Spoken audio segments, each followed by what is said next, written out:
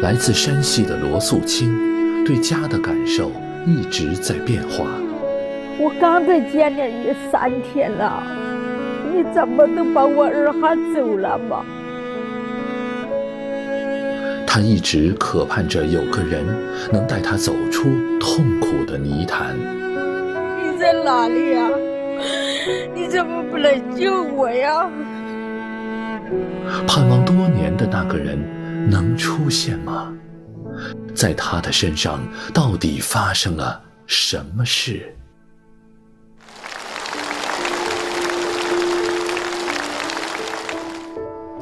这位大姐，欢迎你。是张老师好。你好，你好，你好，你好，欢迎你，欢迎你。大家好，我来节目就是找两个人儿。找两个人。一个找我的亲妈妈，一个做我的亲女儿，他们都不认识。啊，这样您从头讲讲吧，到底怎么回事？是怎么分别和他们分开的？我的老家是贵州的，我也记不清楚，我是可能就是大个就是个十六岁吧。十六岁那年啊，嗯，我去给我妈妈买药，走在路上就出来一个蒙面人，个子很大，嗯，很高，嗯，他说不许叫唤，你跟我走，要是叫唤，我就把你杀了。我都没办法，都只好跟上他走。走了，我也记不清楚是好长的时间吧。上了车都蒙着我的脸了。嗯，有一次吧，遇着个阿姨身边也有个孩子，他就说呢：“阿姨给你个糖，你想吃吗？”我就心里想的这个阿姨来救我，我想哭啊。最后哪里有把我。拿到那个没人的地方，又把我打了一顿。他说不许哭，以后不许和别人说话。我也担心，心里也想哭，也不敢哭，也怕他打，心里就是这样坎儿卡了。不管遇着啥人都不许和你人家说话。我也不知道是去了哪个地方了。嗯。也不让我说话。嗯。我也看不清楚。嗯，都来了山西卖给这个人家了。卖给人家当媳妇儿。啊。他都经常打我，一打就会死的打我。那时候想的我的妈，你在哪里呀？你怎么不来救我呀？姥姥经常跟我讲：“你长大了要孝敬你妈，要亲你妈。你妈妈不愿意。我就是小时候净吃那个白米饭。我哥哥们呢，我爸爸们呢，都是我妈妈呢，都是吃那个菜窝窝嘛。我二哥都说了，我是不是你们的亲生的？他都怨我妈，意思是说，不管是嗯。”有什么好吃的，都是叫我先吃。我妈妈吧，一直都是身体不好，像感冒啊、瞌睡劲儿大了，她也要吐血。要是说吧，见不上我爸爸妈妈喽，这个都是我心里一辈子那个漏酒了，我这就后悔一辈子了。我也心里想跑，不敢跑。就连上厕所，他也帮我看的，不让别人鉴定。晚上有了孩子，我还是心里是想跑，嗯，可是我又舍不得我的孩子，我的孩子没有妈，怎么过怎么活？我不能丢下孩子不管，这我就让。后来一共生了几个孩子呀？两个。啊，老大是个儿子。哦，老大是个儿子。老二是个女儿。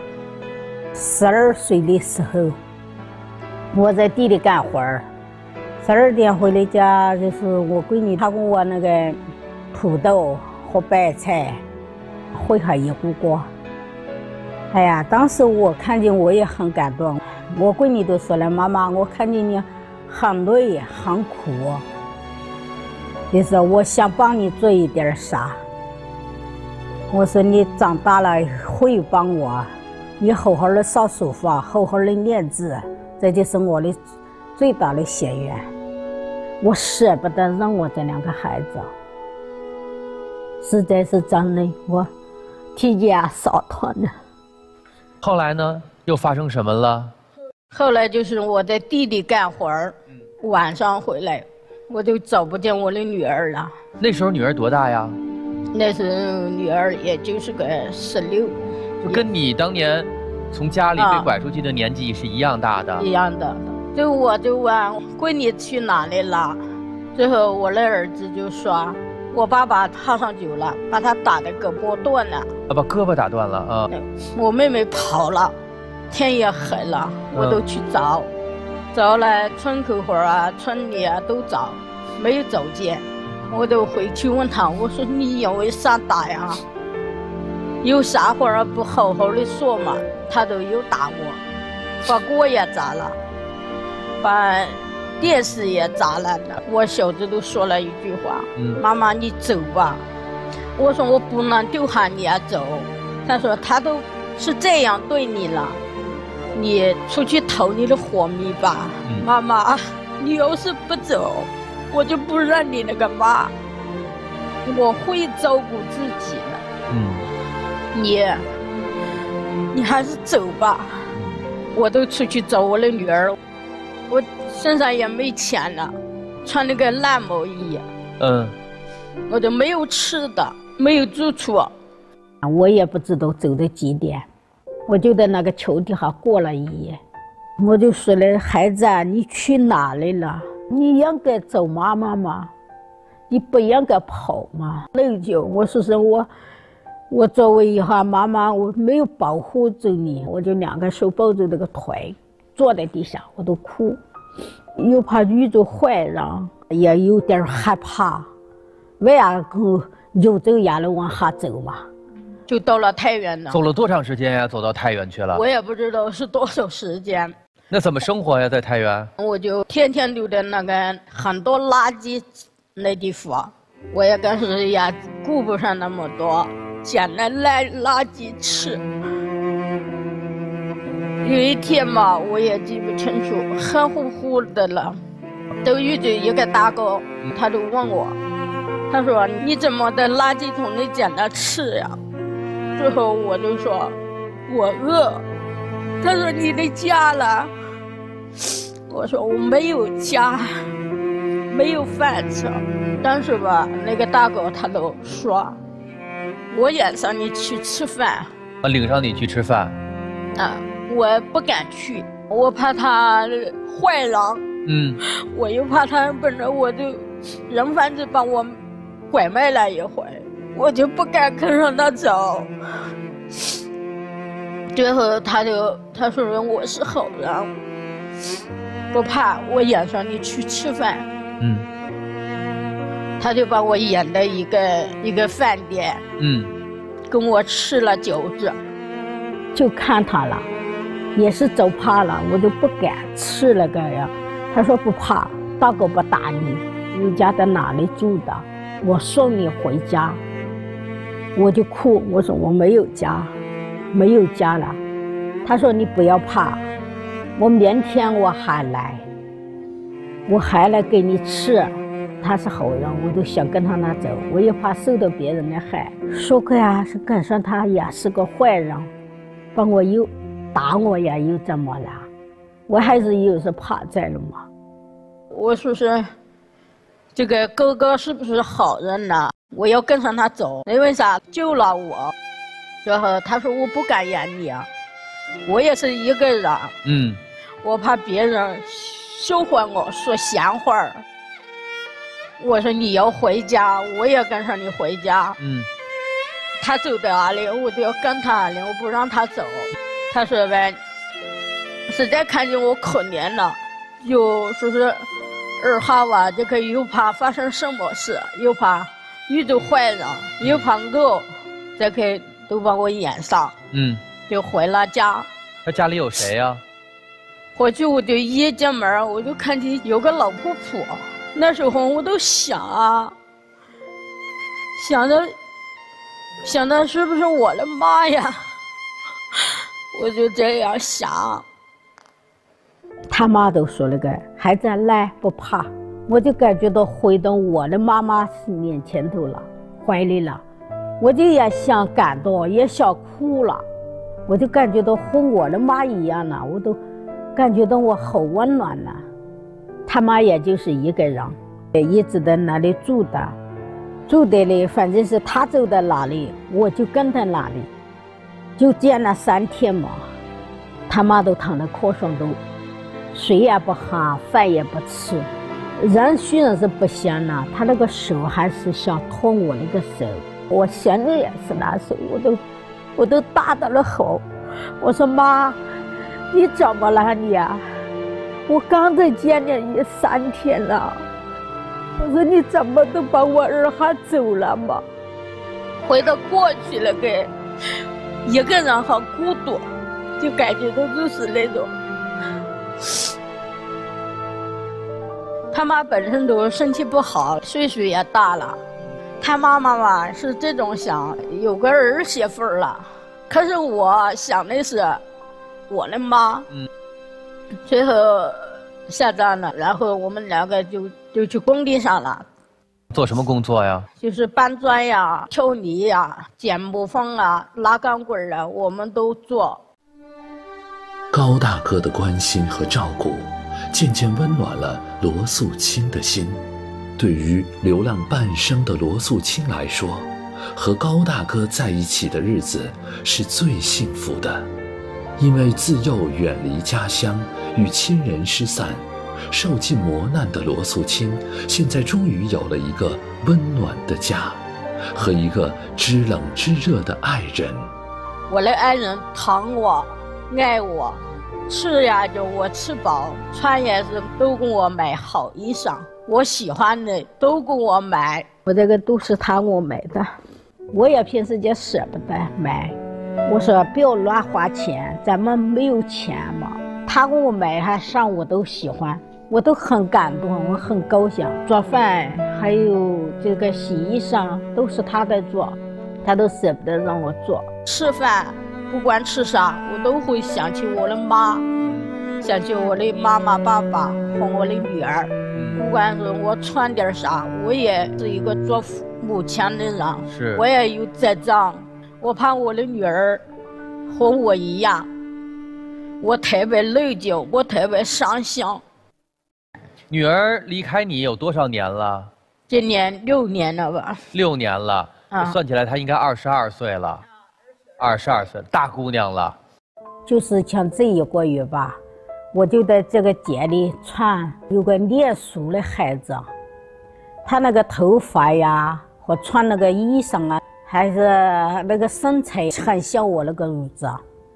我都紧跑来了两步，跑了两步，我个个都把这个娃拉过来，拉走。我说呢，闺女，你在哪里了嘛？我好久啊走不见你，你去哪里了？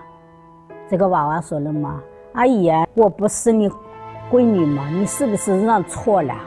经常做噩梦哇，也梦见的是是娃娃回来的，不敢相信是到底我的娃娃是到底在哪里呢？还是吃饱吃不饱？半夜里好像就是梦见我妈妈，有时间梦见我姑娘大喊大哭，把她吼醒了。她就说：“你怎么了？”我说我又梦见我妈了，邋遢呀又不见了。我说我就是怕见不到我妈了。他说不怕，不要怕。嗯，我一定要帮你找，一定要走见你妈。找见妈。啊，走见你妈。你如果说你愿意跟我活，你就跟我活。嗯。你愿意不跟我活，我也走见你妈了，也放心了。你爱人真好，真是一心一意的为你好。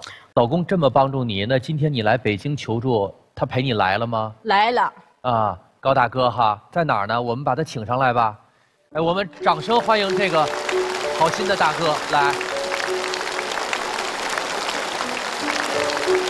欢迎你，高大哥。主持人好。你好，你好，你好。来，请坐，请坐。高大哥。最开始见到他的时候，就是想帮助他。哦，对，我不是忘他了，他是十五六那个拐卖的，拐卖过来的。既然要找家，我也再问问罗大姐，你知道你的家是贵州的，你具体知道是贵州什么地方吗？嗯，贵州兴隆县。嗯，水鸭子庄。他的朋友都给我查了个地址，查出来了，就移民了，不知道移到哪个村里去了。我文化没，走不见。我是娃子还不是，又不会写什么，看电视上就回家那个电视上就好就播那个样。罗素清从小没有读过书，不认识字，也没有任何法律意识。虽然从十六岁起，他就遭遇了拐卖和家暴。但从来没有想过可以向公安部门求助，他惧怕独自出门，只能和同样没有文化的高大哥一起，一边在工地上打工，一边寻找女儿，打听老家的消息。现在，罗素清最大的心愿就是找到妈妈，找到女儿，全家团圆。我们也听听各位嘉宾说说你们的感受吧。家暴。和拐卖都是非法的，都要接受法律的惩处。只要当事人及时的向公安机关反映啊，我们能够迅速的来侦查破案，同时呢，呃，解救被拐的妇女儿童。不管多长时间，公安机关的工作是不会停的。相信公安机关。一定能够帮他们找到亲人。好，谢谢。今天咱们既然两个寻找的这个求助，我们希望都帮您完成。如果大伙儿开开门，我们先帮您找到家了，找到爸爸妈妈了，啊，您还能认出来吗？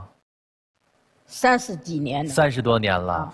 脑子刺激的，我有时间都不记得。不太记得了。我们一起来看看寻人团寻找的情况。好，来有请。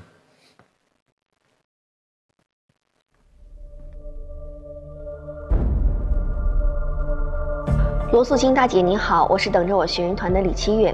您在等着我融媒体平台上登记的寻找家人的报名信息，我们已经收到了。那么根据您的回忆，您是来自贵州省遵义市的一个小山村，在十六岁的时候被拐到了山西，之后生下了一双儿女。而您的女儿是在二零一三年被父亲打骂之后离家出走，从此就跟您失去了联系。女儿身高大概是一米六左右，圆脸。那么为此，我们立即联系到了相关警方以及山西的志愿者，联手展开寻找。根据您提供的线索，我中心立即组织警力进行研判，寻找线索，协助忻州警方共同寻找董慧凤的下落。二零一九年，我们接到您寻找家人的求助信息后，立即在“宝贝回家”寻子网站和“等着我”官网进行搜索比对，同时我们的志愿者根据你的回忆。在多地进行寻找，在山西志愿者寻找罗素清女儿的同时，我们贵州志愿者也行动起来。根据罗素清提供的家乡大概地址和家人姓名，我们迅速的在贵州当地进行了实地走访。那么，我们能不能帮您找到家，又能不能为您找回您日夜牵挂的女儿呢？加油，等着我。谢谢。好，下面请打开我们的希望之门。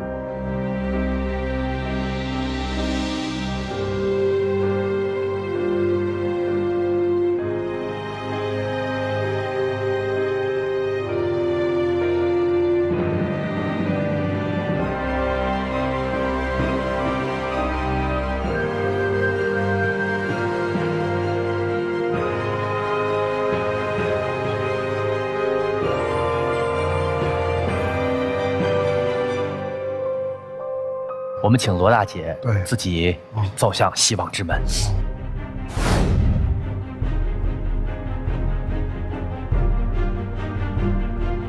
妈妈，我想你了，你在哪里呢？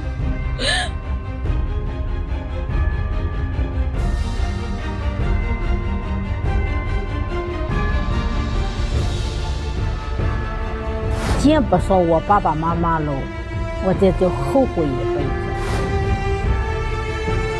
女儿，我想你了。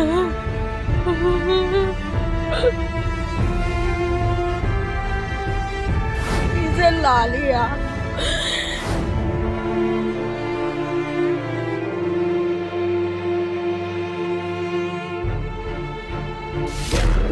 为缘寻找，为爱坚守，请开门。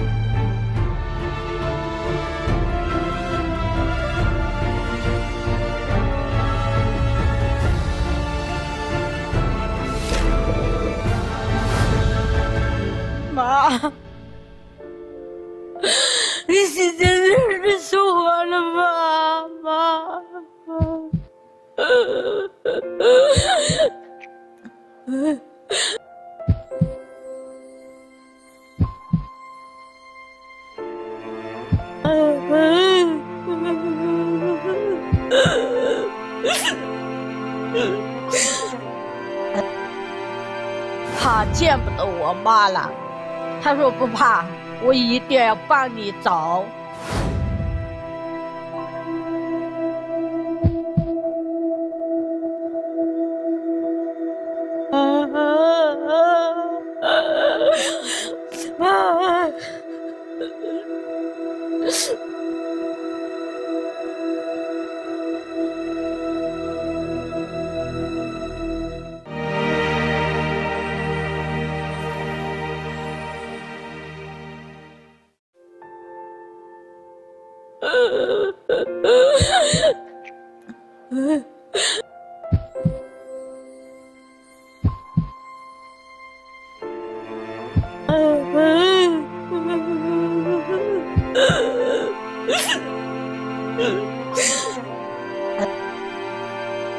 见不得我妈了，他说不怕，我一定要帮你找。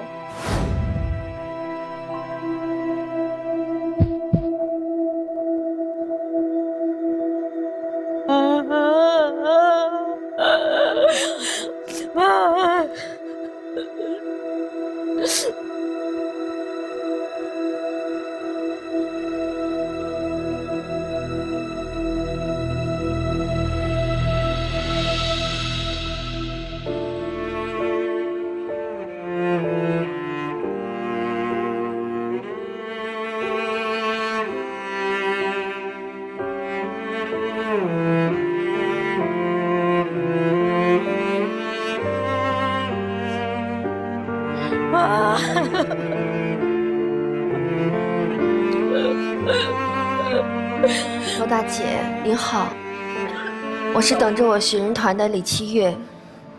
首先我要告诉您的是，您的女儿我们暂时没有找到。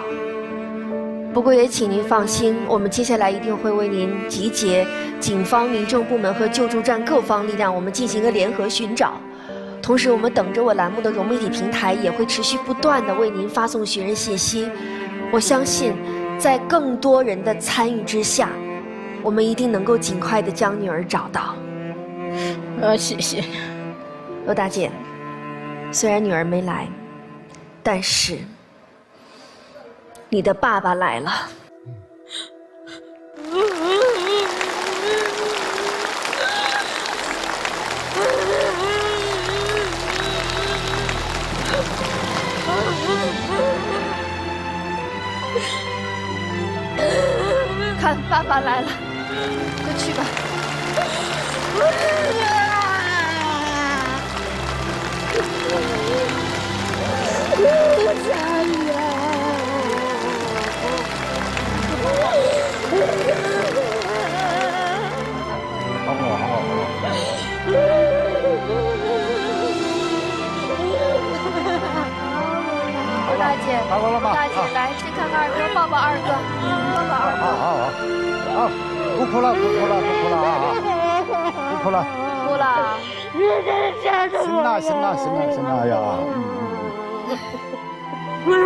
是妈妈呀，咱们妈妈在家，不来。坐过去再说。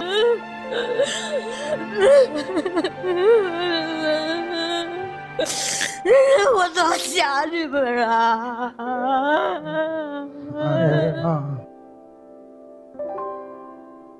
罗大姐，你记得是没错的，你的家就在贵州遵义，但是因为时间长了，这个村子有搬迁的情况。搬了十七年了。对，搬了十七年了。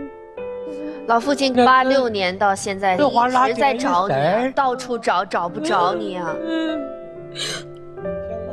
罗大姐，你刚才不是开门的时候一直在喊妈妈吗？我知道你最想见的人一定是妈妈。妈妈也特别的想你，而且妈妈知道你找到了，也非常想来，但是是因为身体的原因，她不能来到现场。我知道，我妈妈本来就身体不好嘛。是，但是她托我们给你带话了，咱们来听听妈妈说了什么，行不行？嗯，来。女儿，两女儿找到你了，你高兴吧？我高兴。你家女儿叫啷名字啊？叫罗光秀。有啷个话和她说没得啊？我高兴了，我跟她上是想她，看准吧？啊，看准了。他就是你妈妈了嘛？啊。妈妈说高兴，妈妈说想你。是，我也想她。妈妈还挺好的，哦。咱们要是能第一时间回家回贵州，就能见到妈妈了，好不好？好。嗯。您和女儿都是家暴的受害者，如果我们做个假设性的提问。你的女儿碰上了一个男友，不尊重她，不爱惜她，甚至可能用粗暴的方式对待她。您希望她怎么应对这样的情境？我觉得她也可以走走公安，保护她。嗯，对，特别好，这就对了。我希望所有在婚姻关系中的女性记住一点：不要活成一个让妈妈担心的女儿，保护好自己，必要时候寻找我们。警察的支持，谢谢，谢谢，谢谢。所以我在想，我们在寻找女儿的过程当中，目前还没有有价值的线索。但是我想，女儿会不会也可能是因为害怕，不敢回到这个家？是。如果是这种情况之下的话，我想女儿应该可以跟我们联系了。对。希望你也早日跟我们联系，早日回到你的这个家。谢谢啊！先回家，先回家看看妈妈。谢谢。我们继续帮你找女儿，好不好？谢谢啊！离家三十四年，丢失女儿六年，罗素清一直希望能有人可以帮助自己。好心人高大哥伸出援手，彻底改变了他漂泊流浪的人生。现在，在各方的努力和帮助下，罗素清终于见到了失散三十四年的亲人。随后，他和高大哥一起回到了自己的家乡，回到了爸爸妈妈的身边。但是，我们的寻找还没有最终完成，因为罗素清的女儿董桂凤目前还没有找到。如果董桂凤能够看到这期节目，如果电视机前的您知道她的消息，希望第一时间和我们联系。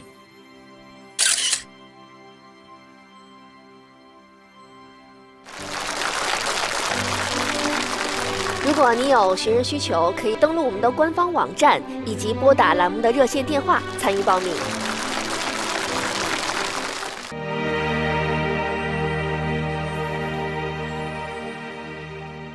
我要找到你，多少年不管，无论你会在世界哪。